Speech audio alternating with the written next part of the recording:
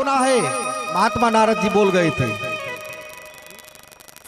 एक काम करो बेटा, जा करके गोविंद का टीका कर दो और वो समय पर आकर के रुक्मणी का विवाह करें। रुक्मी ने कहा, पिताजी, तुम्हारी बुद्धि भ्रष्ट हो गई है। कहा इतनी साफ़ सुथरी मेरी बहन और इसका विवाह उस कालिया कृष्ण से। जिसके न जाति का पता, न कुल का पता, मैं ये विवाह करने वाला नहीं हूँ। उसने मना कर दिया। और शिषपाल के साथ रुक्मणी का विवाह करने के लिए शिषपाल का टीका कर दिया। हे महाराज परीक्षित जी पाँच साल से साधना करते करते रुक्मणी जी भगवान को अपना पति मान रही है।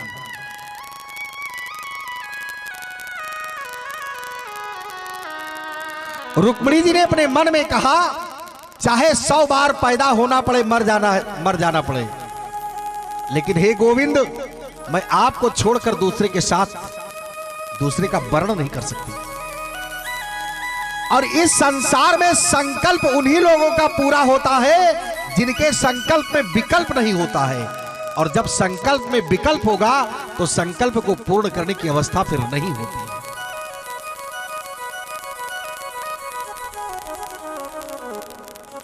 एक बात मान लो, अंग्रेज़ी में कहावत है वर्क इज़ वर्शिप इसका मतलब है कर्म ही पूजा है। जिसने कर्म को पूजा माना, मैं धन्यवाद देता हूँ उनको। और संसार में कर्म दो प्रकार के, एक सत कर्म और एक दुष्कर्म। जिन्होंने कर्म को पूजा माना है, उन्होंने वास्तव में सत्कर्म को ही पूजा माना है। वर्क इज़ वर्शिप से कल्याण आपका होगा, लेकिन टाइम लगेगा। अगर जल्दी कल्याण चाहते हो तो वर्शिप इज़ वर्क कर डालो, और जल्दी भगवत प्राप्ति हो जाएगी। वर्शिप इज़ वर्क पूजा को ही अपना कर्म बना लो। कर्म को पूजा मत भगवान जल्दी कृपा करेंगे। रुक्मणी जी ने देखा कि शिषपाल बारात लेकर के आ गया है। रुक्मी रुक्मणी जी ने एक सात लाइन की चिट्ठी लिखी है। और एक चिट्ठी लिख करके सात लाइन की, सुदेव नाम के पंडित जी को दे दिया। कहा यह चिट्ठी ले जा करके द्वारिका में गोविंद को पकड़ा दो। बस, इतना काम करना। वो ब्राह्मण पत्र लेकर के श्री रुक्मणी जी का पत्र लेकर के वो विदर्भ से चल करके द्वारिका है और जब गोविंद के हाथ में पत्र दिया शाम को और भगवान ने पत्र खोला तो उसकी पहली लाइन जानते हो क्या लिखी है? केवल सात लाइन की चिट्ठी है भैया।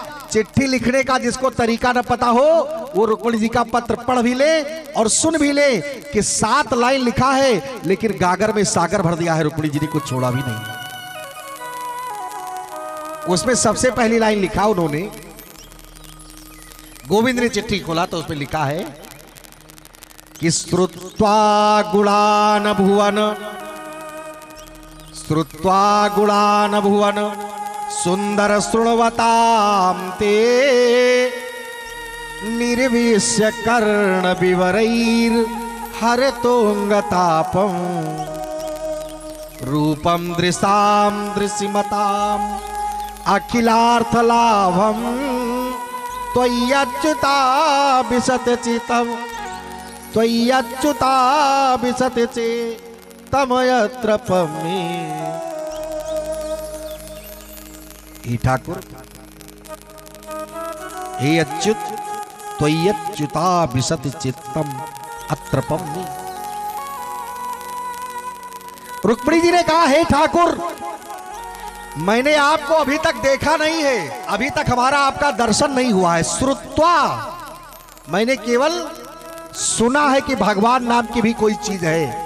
मैंने आपके बारे में संत महात्माओं से सुना है। क्या सुना है? श्रुत्वा गुणान भुवन। सुंदर स्तृणवताम ते। महाराज जी, इस संसार में आप बहुत सुंदर हो, ठाकुर जी। ऐसा मैंने सुना है। और जैसे बाकी झांकी के रूप का आपके रूप का वर्णन संत विद्वान करते हैं, वैसी बाकी झांकी का चित्र बना करके मैंने अपने हृदय में बैठा लिया है। आपका वैसा चित्र मैंने हृदय में बनाकर बैठा लिया है। प्रभु, आप सोचते होंगे ये कैसी लड़की है, ये चिट्ठी लिख रही है शादी करने के लिए। जो शादी करने के लिए चिट्ठी लिखे, वो कौन कुलीन हो सकता है भला? ये बात मत सोचना गोविंद, मैं कुलीन हूँ। दूसरा श्लोक देखना। कात्वा मुकुंद महती कुलशील रूप। विद्यावयो द्रविड़ धाम विरात्म तुल्यम धीरापतिम कुलवतीम न प्रणीत कन्या। कालेन्द्र सिंह नरलोक। मनोभिराम भगवान ने कहा, रुक्मणी जी ने कहा, महाराज जी, मेरा कुल ठीक है। मैं शीलवान हूँ। मैं रूपवान भी हूँ। मैंने पढ़ा लिखा है। मैं जवान भी हूँ।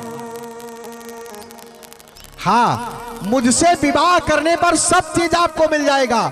सिर्फ़ एक चीज़ नहीं मिलेगा, केवल धन, क्योंकि भाई पक्ष में नहीं है। भाई विरोध कर रहा है विवाह का। मेरी। ऐसे ऐसे लिखा रुक्मणी जी ने अंत में लिखा कि चाहे मैं सौ बार पैदा हो धरती पर और मर जाऊँ, ये चलेगा ठाकुर। लेकिन आपके सिवा मैं किसी को अपना पति नहीं बना सकती। हे जगतपति, हे आर्त प्राण परायण, आपके सिवा मैं अपना पति किसी को मान ही नहीं सकती। रुक्मणी जी के इस पत्र को पढ़ते पढ़ते भगवान की आँखों में पानी आ गया उन्होंने दारुक से कहा, रथ जोतो। और श्री सुदेव ब्राह्मण से को पहले बैठाया रथ पर। और भगवान श्री कृष्ण चले द्वारिका से विदर्भ की तरफ़। ब्राह्मण को बैठाया और एक बात ध्यान रखना भक्तों आज ये गणेश जी का बारह नाम बोल दे रहा हूँ। गणेश जी के बारह नाम। इसको पढ़ करके आप लोग घर से जब निकला करें तो ये गणेश जी का बारह नाम ज़रूर पढ़ लेना। मान लेना ये बात ज़िंदगी में। न तो आपका कभी एक्सीडेंट हो सकता है, न रास्ते में आपको चोट लग सकती है। चाहे भद्रा हो, चाहे बेदीपात हो, चाहे दिशाशूल हो, ये गणेश जी का बारह नाम पढ़ करके ही घर से निकला करें। ये बारह नाम है भगवान गणेश जी के। कौन कौन? सुमुखश्चे कदंतश्च कपिलो गजकर्णका। लंबोदरश्च विघटो विघ्ननाशो विनायका। धूम्रकेतुर्गणाध्यक्षो भालचंद्रो गजानना। द्वादश एतानि नामानि या पठे शृणुयादपि। विद्यारंभे विवाहे चा प्रवेशे निर्गमे। तथा संग्रामे संकटे चैवो विघ्नस्तस्य न जायते। ये ज़िंदगी में प्रयोग किया हुआ भी चीज़ है और शास्त्रीय तो है। गणेश जी के बारह नामों का जप करके भगवान निकले और सीधे वो द्वारिका से चल करके विदर्भ में पहुँच गए। और सुदेव ने जाकर के रुक्मणी को बताया, कहा, भगवान आ गए हैं। रुक्मणी जी मारे चिंता के परेशान थी। आज रुक्मणी का मंगलमय श्रृंगार हो रहा है। ध्यान देना शब्दों पर। रुक्मणी का श्रृंगार हो रहा है। आज रुक्मणी का विवाह होगा शिषपाल के साथ। भौजाइयाँ सजा रही हैं। तो रुक्मणी जी कहती है कि मुझे ठीक से सजाना, भौजाइयों से। ऐसे उलूल जुलूल मत सजा देना, जरा ढंग से सजाना। ऐसा सजाओ कि देखने में लगे, कवियों ने बड़ी सुंदर लाइनें दी हैं। थोड़ा आनंद लीजिए। आओ मेरी सखियों, मुझे ऐसा सजा दो। ऐसा सजा दो, मुझे मेहंदी लगा दो। और मुझे श्याम सुंदर की दुल्हन बना दो। मुझे श्याम सुंदर की दुल्हन बना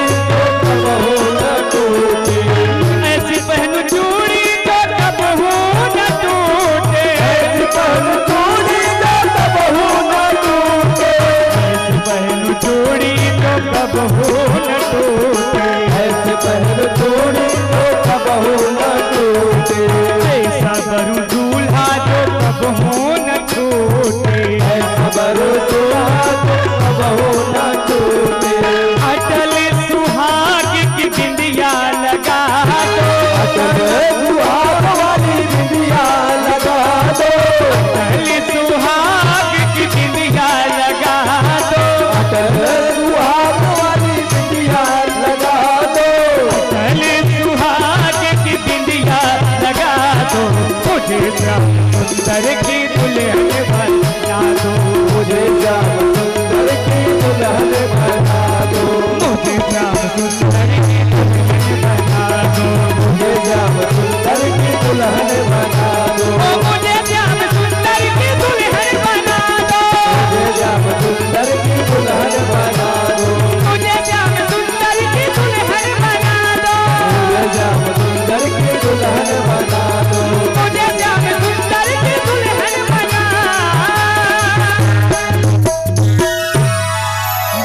दूल्हा सरकार की। बड़ा दिव्य उत्सव है। भगवती रुक्मणी का श्रृंगार करके रुक्मणी जी अपने भौजाइयों के साथ आती हैं माता माता रानी की पूजा करने के लिए मंदिर में देवी जी की कुल देवी की। विधिवत पूजा किया है रुक्मणी जी ने, भागवत में ऐसा लेख है। मधुपर कमुपानीय मधुपर कमुपानीय वासांस विरजांस्य उपायन्यान्नविष्टानि विधिवत संपूजयत विधिवत पूजा किया रुक्मणी जी ने भगवती महासती माँ, पार्वती जी की। रुक्मणी की भौजाइयों ने कहा, अरे रुक्मणी, माँ से कह दे कि अगर तेरे ऊपर प्रसन्न हो तो तेरा विवाह शिषपाल के साथ हो जाए। तो रुक्मणी जी, वरदान क्या मांगती है? नमस्ते त्वामाम्बिके वीक्षणम। स्वसंतान युताम शिवाम। भूयात पतिर्मे भगवान कृष्ण। भूयात पतिर्मे भगवान कृष्ण तदनुमोदता रुक्मणी जी ने कहा, माँ, अगर मैंने ढंग से पूजा की हो तो मेरा विवाह भगवान कृष्ण के साथ हो जाए। भूयात पतिर्मे भगवान कृष्ण। भौजाइया, हंस पड़ी। कहा, ये बताओ बारात लेकर के शिषपाल आया है और पति कृष्ण जब मंदिर से बाहर निकली, महारानी रुक्मणी जी पूजा करके तो भागवत में लिखा है कि पदा चलंतीम कलहंस गामिनी, सिंजत कलानुपुर धाम शोभिना। जैसे रुक्मणी जी बाहर निकली, अचानक जितनी टाइट सिक्योरिटी रखी थी रुक्मी ने वह सब रुक्मणी जी की सौंदर्यता को देख करके मूर्छित हो गए महाराज। और भगवान रुक्म- रुक्मणी को उठा करके रथ में बैठाए और चल दिए विदर्भ से द्वारिका के कुंडनपुर के तरफ़। जब भगवान रथ लेकर के चले तो रुक्मणी का भाई चिल्लाया, अरे कन्हैया, अगर तुझमें दम है तो संग्राम करके जीत करके ले जाओ। भगवान खड़े हो गए, क्षण मात्र में इतने बाण चलाए महाराज। कि सारी सेनाओं को काट करके फेंक दिया। और रुक्मी को बाँध करके भगवान रथ में घसीट करके लेकर के चले। तब तक इधर से बलराम जी आ गए। उन्होंने पता चला उनको कि स्वयंवर में गए हैं तो कहा मारपीट हो सकती है। सेना लेकर के जा रहे थे। रास्ते में जब बलराम जी मिले ना, बलराम ने कन्हैया से हाल चाल पूछा। और उसके बाद क्या कहा? रुक्मी ने बलराम जी से कहा कि, भैया, ये मेरा भाई है, इसको छोड़वा दीजिए आप। बड़ी कृपा होगी। बलराम जी ने बड़े प्यार से कहा, कन्हैया, इसको छोड़ दो रुक्मी को। क्यों? कहा, छोड़ दो। है तो अपना रिश्तेदार साला ही है। अब इसकी बहन भी लिए जा रहे हो, इसकी भी, इसको भी घसीट रहे हो। ये अच्छा नहीं है, रिश्तेदार है, छोड़ दो। क्योंकि एक पुरुष की जो ससुराल होती है, उसका संबंध ससुराल में जितना होगा, सब सकार ही होगा, सब सा अक्षर से ही होगा, बैठ करके आप लोग गिन लेना। हम तो नहीं बता पाएँगे। लेकिन ससुराल के जितने संबंधी है, वो सब सा अक्षर से ही पड़ेंगे और इसी कटाक्ष को करते गोस्वामी जी ने कहा था कि ससुरारी प्यारी लगी जबते रिप रूप कुटुंब भय तब ते। भगवान रुक्मणी को लेकर के द्वारिका के कुंडनपुर में आए। ब्राह्मण लोग बैठे हैं। यहीं पर स्वस्तिवाचन होता है। हरे ओम मा स्वस्ति न इंद्रो वृधस्रवा स्वस्ति न पूषा विश्ववेदाः। स्वस्ति नस्तारिक्षो अरिष्टनेमि। स्वस्ति नो बृहस्पति दधातु ब्राह्मण वो भगवान के मस्तक पर चंदन लगा करके कस्तूरी तिलकम ललाट पटले वक्षस्थले कौस्तुभम, नासाग्रे वरमोक्तिकम करतले, वेणुं करे कंकणम सर्वांगे हरिचंदनम सुललितम कंठे च मुक्तावली। गोपस्त्री परिवेष्टितो विजयते। गोपाल चूड़ामणि भगवान का बड़ा मंगलमय श्रृंगार है। भगवान का विवाह रुक्मणी के साथ पहला पहला विवाह रुक्मणी जी के साथ हो रहा है। और कवियों ने उत्प्रेक्षाएँ दी है। आइए सब लोग मस्ती से थोड़ा आनंद लेते हैं। भगवान कैसे लग रहे हैं? और श्री रुक्मणी जी कैसे हैं? बोले भक्त वत्सल भगवान की। जय तेरा जिसने किया। श्रृंगार समरे हो तेरा किसने किया। ध्यान देना उत्प्रेक्षा है उपमा है और अलंकार है। भगवान की सौंदर्यता को यह प्रदर्शित करता है।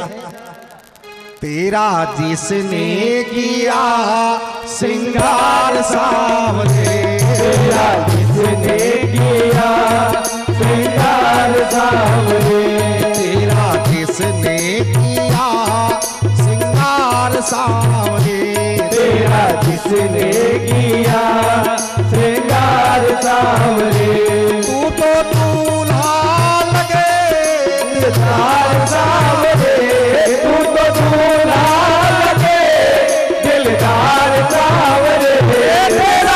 किया सिंगार सावरे तेरा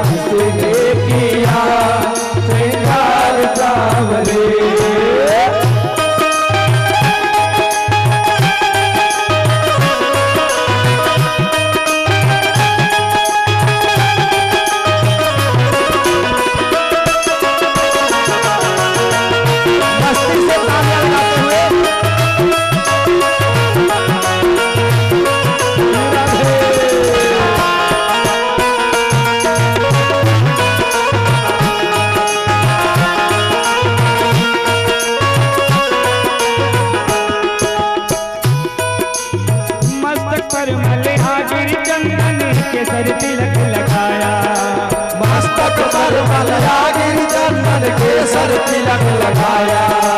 रहे सलामत हाथ सदा वो तुझे सजाया। रहे सलामत हाथ सदा तुझने तुझे सजाया। वो सजाता रहे वो सजाता रहे बार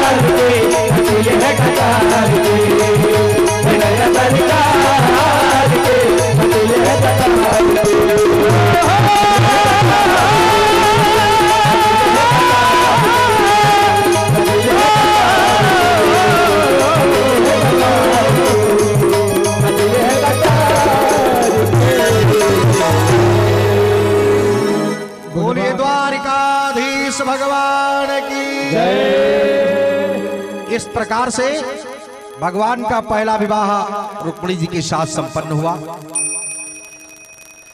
सुखदेव स्वामी कहते हैं, परीक्षित जी, भगवान का दूसरा विवाह हुआ जामवती के साथ।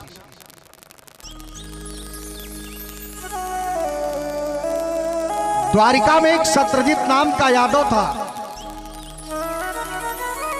उसके पास एक मणि थी। जिस मणि का नाम था स्वयंतक मणि। एक बार भगवान ने मांगा वो मणि और कहा, ये मणि अगर तुम दे दो, ये मणि आठ भार सोना डेली देती थी। एक भार में पच्चीस किलो कहा गया है।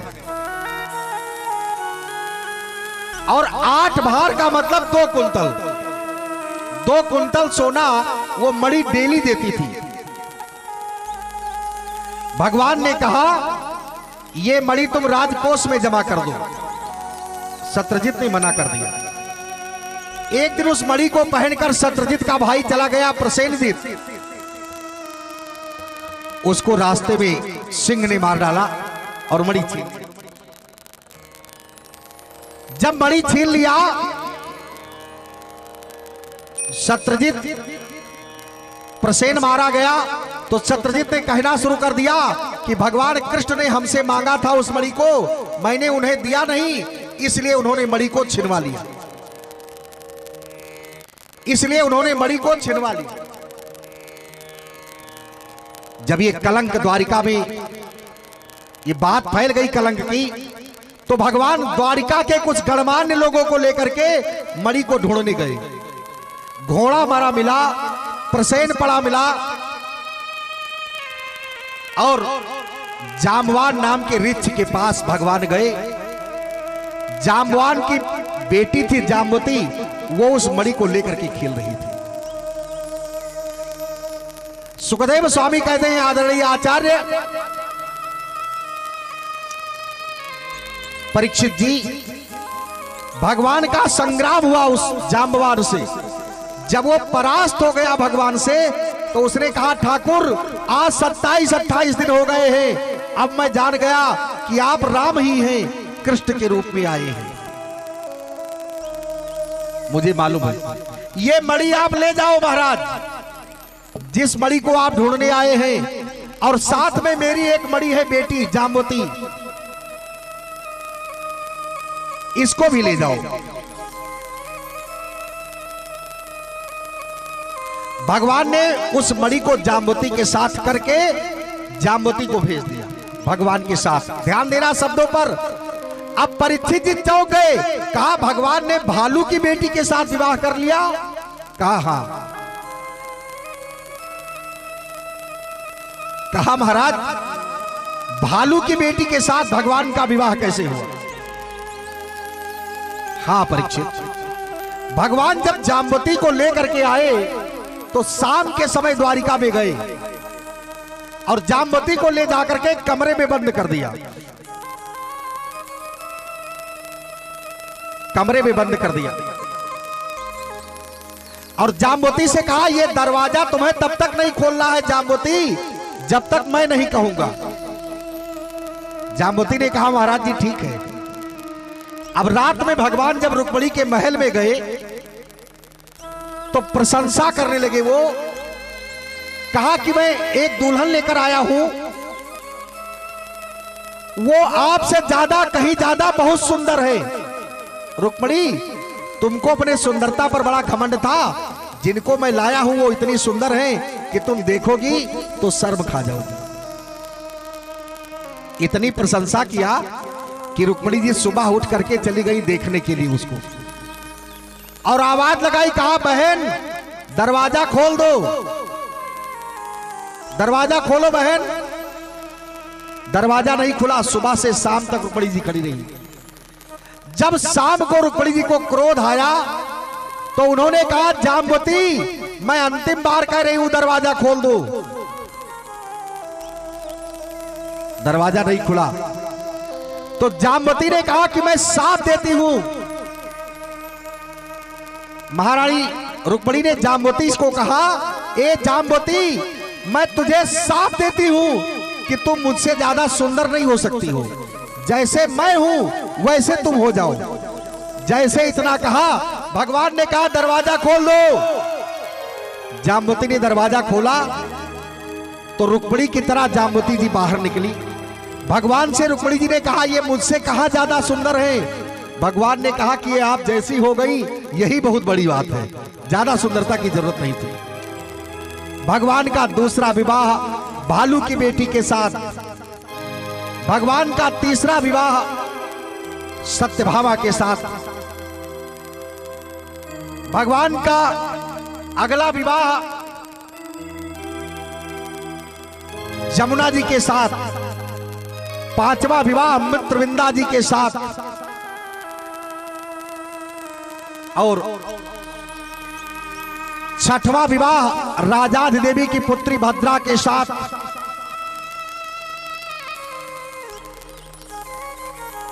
सतवा विवाह भद्रा के साथ। और भगवान का आठवां विवाह लक्ष्मणा से हुआ। सोलह हज़ार कन्याओं को भवासुर ने बंदी बना लिया था, उनको मुक्त कराया। सौ अन्य। कुल मिलाकर के भगवान श्री कृष्ण ने सोलह हज़ार एक सौ आठ रानियों के साथ पाड़ी ग्रहण संस्कार किया, विवाह किया। ए महाराज परीक्षित जी, ये सोलह हज़ार और सौ और आठ वेद में एक लाख मंत्र है, अस्सी हज़ार मंत्र कर्म कांड के और सोलह हज़ार मंत्र उपासना कांड के। ये उपासना कांड के वेद की ऋचाएँ हैं परीक्षित। ये जब भगवान के ब्रह्म की सत्ता को पार नहीं पाई तो भगवान की पत्नी बनकर के आई।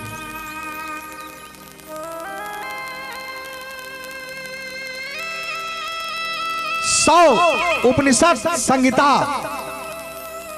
चार वेद, चार उपवेद आठ ये ये सब भगवान के पत्नी भगवान का वर्ण करके पत्नी बनकर के भगवत सत्ता को समझने के लिए आई परीक्षित। कुल मिलाकर के भगवान ने अपना सोलह हज़ार एक सौ आठ विवाह किया है। और ये पवित्र विवाहोत्सव जो भगवान का सुनता है, उसके घर में और उसका, उसके जीवन का, उसके जीवन में बड़ा मंगल होता है। इसलिए ये मंगल चरित्र आप लोगों ने श्रवण किया और आइए, भगवान के मंगल में विवाह की शुभकामना देते हुए आप लोग भगवान के विवाहोत्सव में अब शामिल हो।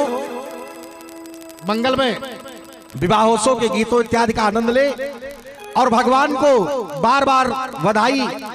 ठाकुर जी को शुभकामना इस धरती के मनुष्यों की तरफ़ से कि संसार में जितने जीव हैं, सबके वास्तविक पति आप हैं। आइए, भगवान का मंगल में विवाह हुआ है। सब लोग हाथ से तालियाँ लगा करके अपनी खुशी से भगवान को शुभकामना दे। बधाई प्रेषित करें।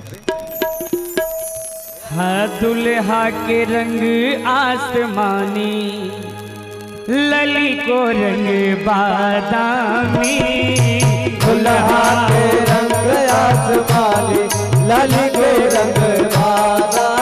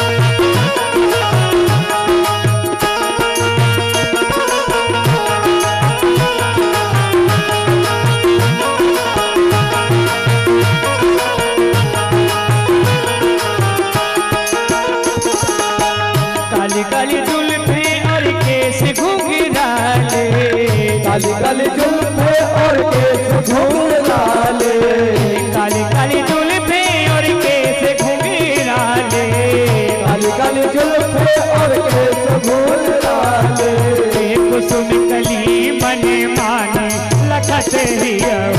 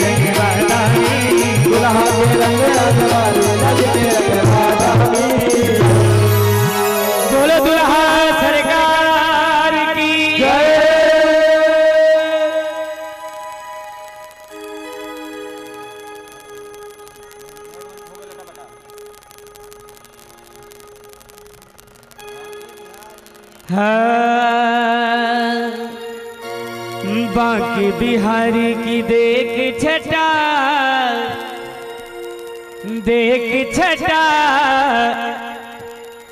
मेरो मन हो गयो लटा पटा मेरो मन हो गयो लटा फटा मेरो मन हो गयो लटा बाकी बिहारी की देख छटा बिहारी की देख कटा मेरो मन हो गयो लटा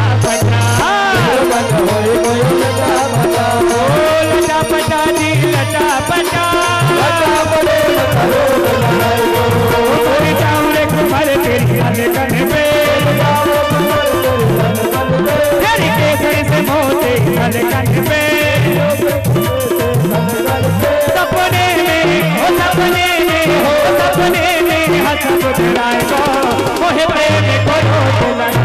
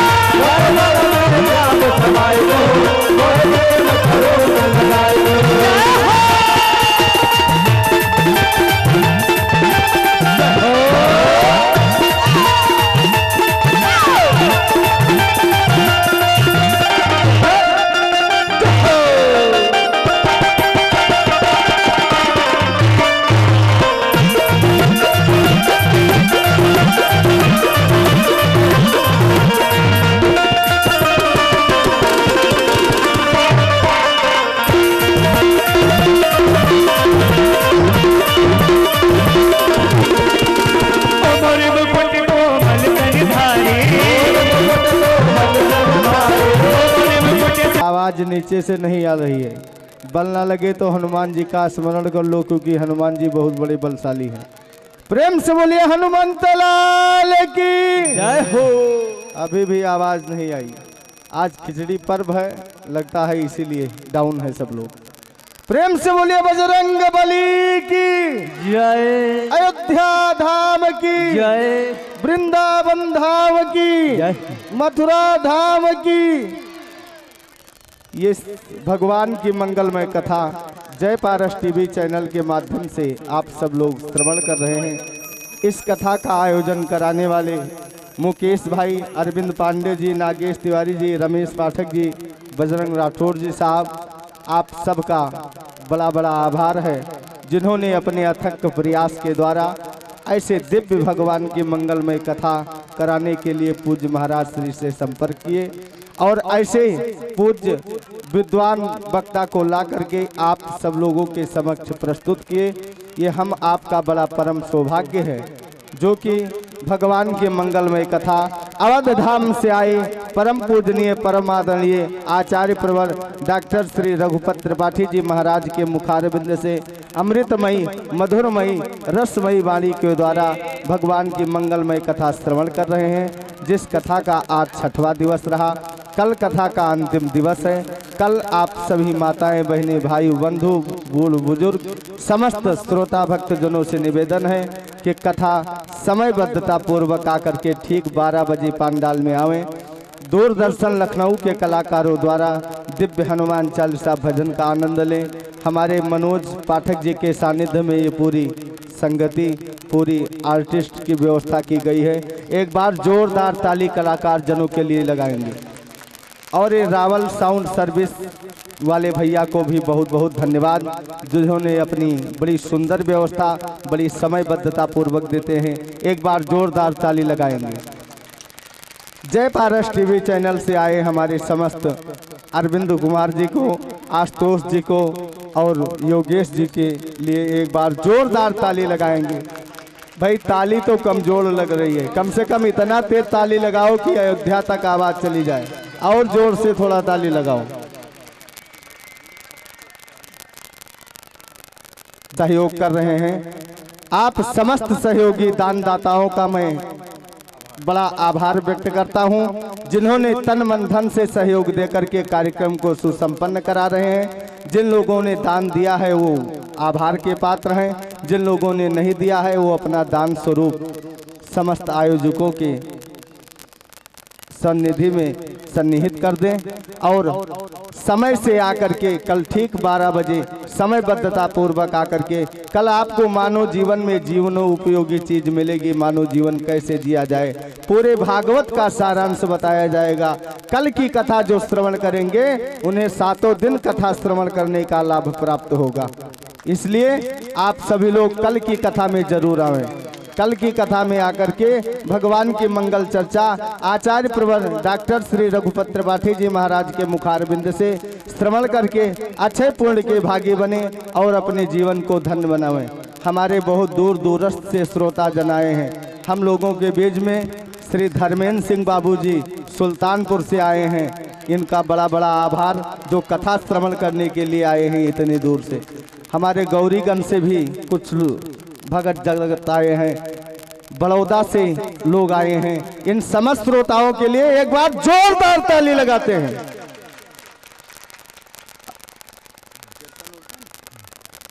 आइए सभी लोग ताली लगाते हुए हरि नाम स्मरण करते हैं। उसके बाद आरती प्रसाद यथास्थान प्रस्थान। बोले भक्तवत्सल भगवान की, बिंद गाले गाले गाले।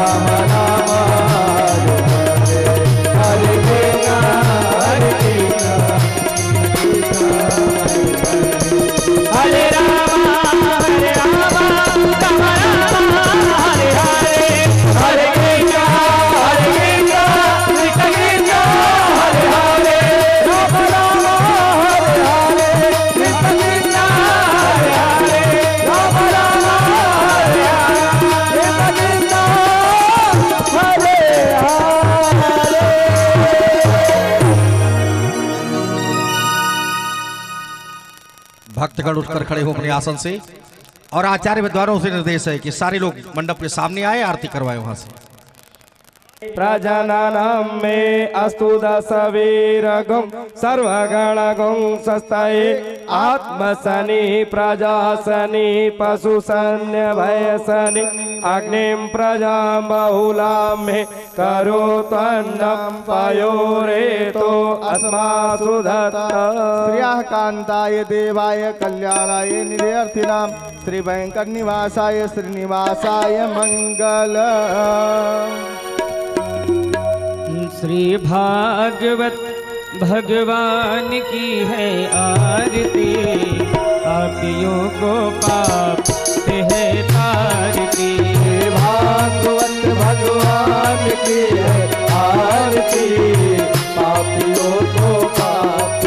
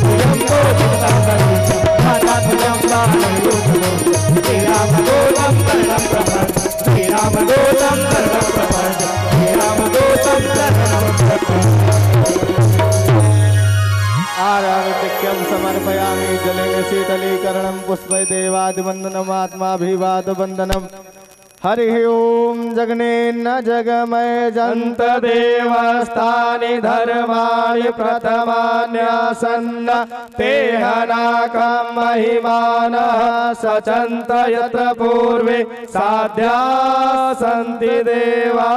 सेवन्ति काव्यकुलचम्पकपार्जलाब्जे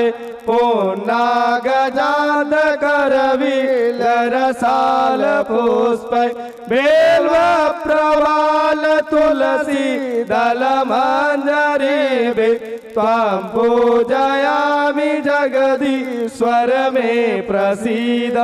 सुगंधवल्ली शतपत्र जाते सुवर्ण चंपा वकुलोद्भवानी गृहाण देवी समयार्पितानि प्रभु हरे श्री पुष्पाञ्जलानि। नाना सुगंध पुष्पाणि यथा कालोद्भवानि च पुष्पाञ्जलिर्मया दत्त गृहाण परमेश्वर। श्री पुराण पुरुषोत्तमाय नमः। मंत्र पुष्पांजलि समर्पयामि नमस्करोमि प्रणमोमि वंदनोमि प्रेम से बोलिए राधा कृष्ण भगवान की। जय। सावरिया सेठ की। जय। सावरिया सेठ की। जय। गंगा सरयू महारानी की। जय। अरुण हनुमान जी महाराज की। जय। धर्म की। जय हो। धर्म का। नाश हो। नारियों में। सद्भाव हो। विश्व का। कल्याण हो। माता की। रक्षा हो। भारत माता की। जय हो। अखंड भारत राष्ट्र की। जय हो। राम जन्मभूमि की। जय हो। कृष्ण जन्मभूमि की। जय हो। अयोध्या धाम की। जय हो। वृंदावन धाम की जय हो। मथुरा धाम की जय हो। श्रीमद भागवत सप्ताह ज्ञानी जय हो। श्री विश्वनाथ भगवान की जय हो। श्री विश्वनाथ भगवान की। जय हो। श्री पार्वती पते